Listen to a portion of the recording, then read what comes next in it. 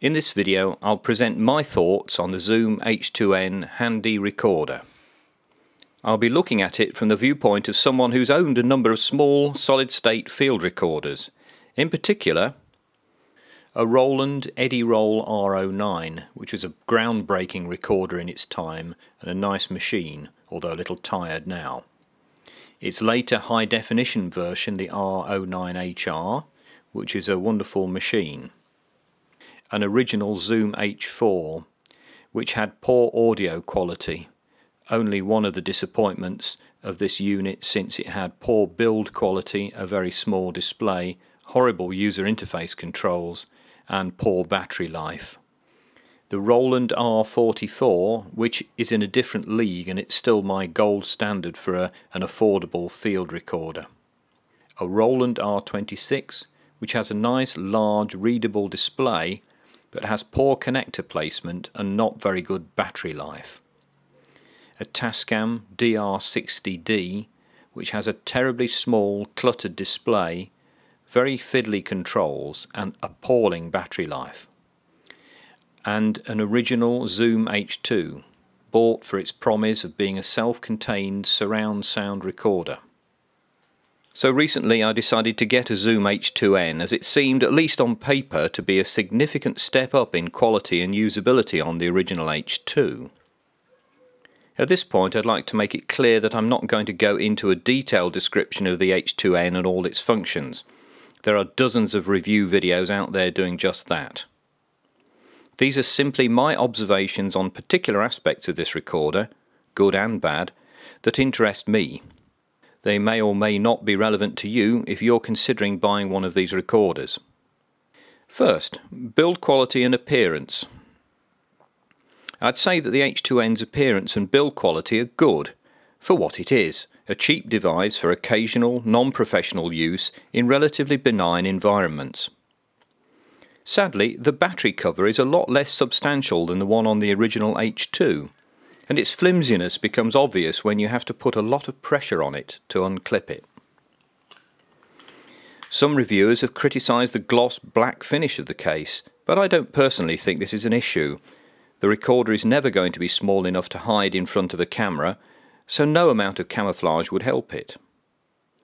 Also, most of the portable electronic equipment I've owned with rubbery outer coats tended to degrade over a few years and become tacky, so I'm happy to make do with the shiny rigid plastic and try not to drop it on too many concrete floors. User interface The original H2 had a miserably small display. The H2N's is much larger with bigger text and is superb in my opinion. Although I'm not generally in favour of combined push button and cursor switches for menu navigation, the one on this recorder works a treat, much better than the horrible membrane panel on the original H2. Although boot up and shutdown aren't instantaneous, they're quite quick enough for most purposes.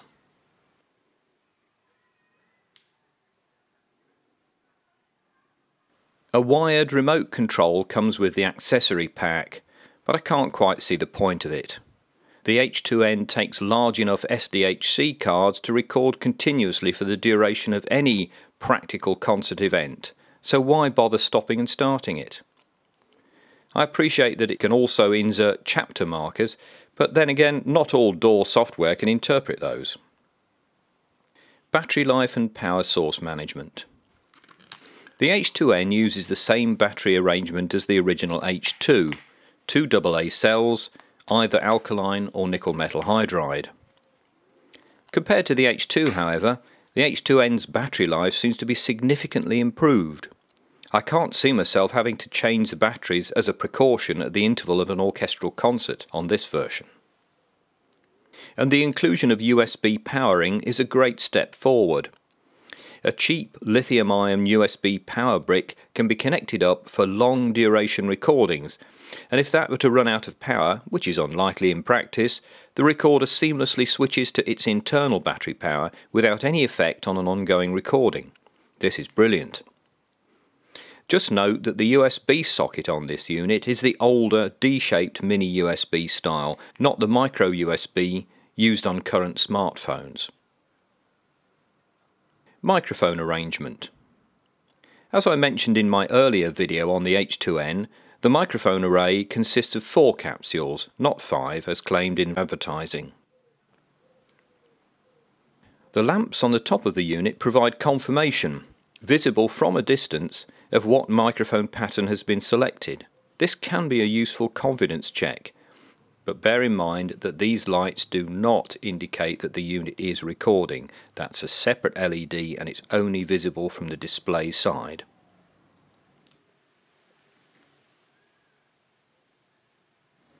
These lamps flicker if input level clipping occurs.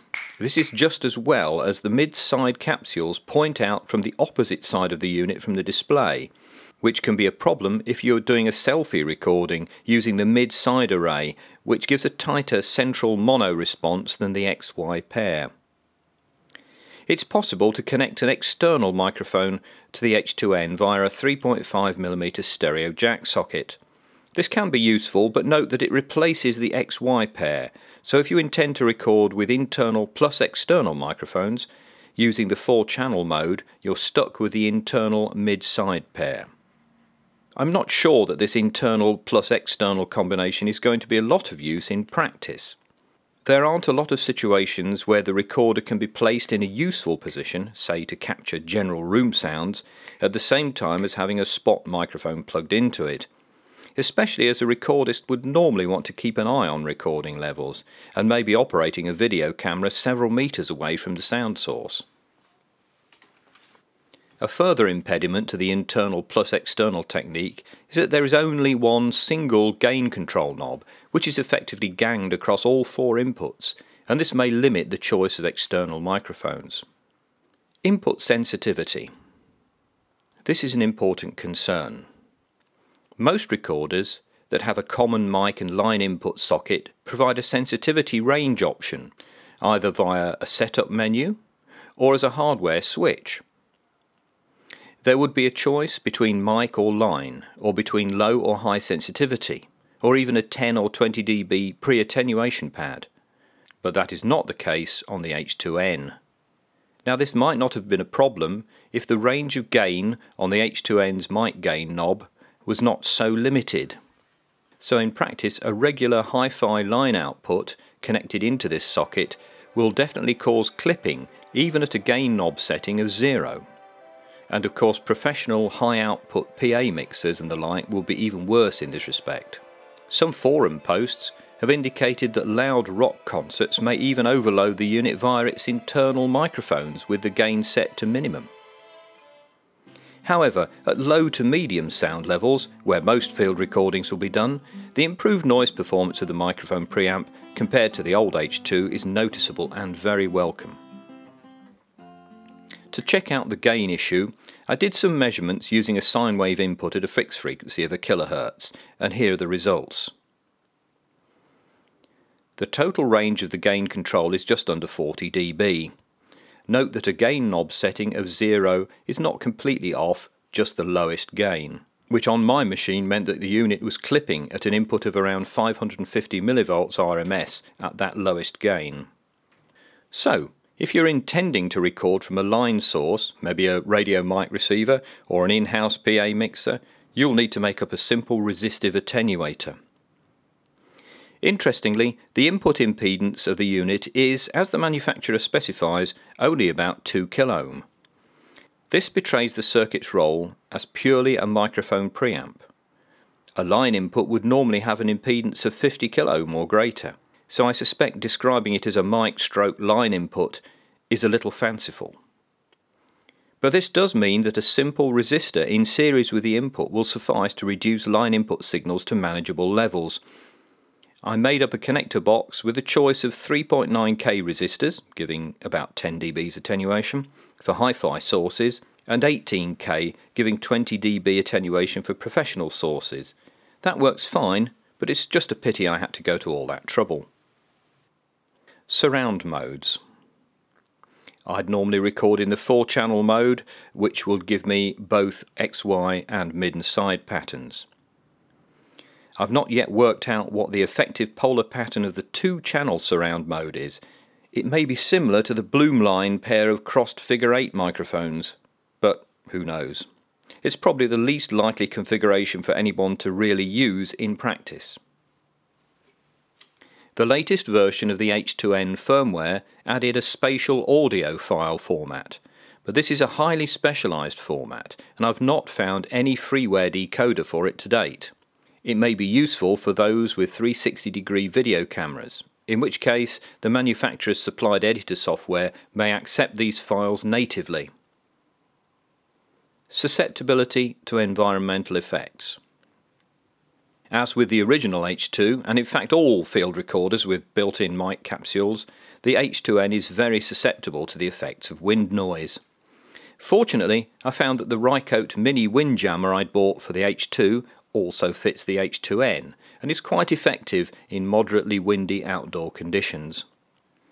However, for close-up indoor dictation, the foam windshield from the accessory kit is generally adequate to prevent breath popping. The unit has some nice rubber pimple feet, which should give a useful degree of elastic isolation from a surface. However, this effect is somewhat spoilt by the front of the base inexplicably having a rigid pimple moulded into it, which projects just as far as the rubber feet. Other firmware features. The H2N has many special firmware features if you want to trawl through its menus. They seem to be mainly of use to musicians using it as a composing aid, and possibly note takers or reporters needing to perform basic edits in the field. However, with full-blown DAW software being available at almost no cost in highly portable tablets and small notebook PCs or Macs, I can't see very many people using these features. For me, as a simple recordist, I turn off all of these features and stick to capturing straight 2 or 4 channel uncompressed WAV files in long uninterrupted takes and sort everything out afterwards on my audio workstation. The accessory kit. Finally, it's worth noting that my H2N came bundled with an accessory kit which consisted of the following items. A remote control with an extension cord, which wasn't very useful as I mentioned earlier, a foam windscreen, which is good for indoor plosive control, but does need replacing with a furry windjammer for outdoor work. A microphone clip adapter. Now this is not much use, but could act as a handle for interviews. A table stand, as it describes it, with three extendable legs. This is a cheap, small tripod and pretty useless really. A simple zipped case that has enough room in it to put a furry windshield if you actually happen to have one of those. However, there's not enough room in there for an extra pair of batteries. And finally, an AC adapter and a USB cable. Although this is useful to have around, remember it doesn't charge the batteries in the unit, so it's useful only for long duration recordings close to a mains outlet. For such extended recordings, I think I'd prefer to use an external USB battery pack as I mentioned earlier. Summary The Zoom H2N is a great little piece of kit. Its recordings are very clean, its mic patterns are very versatile, and the ability to record an external microphone is very useful.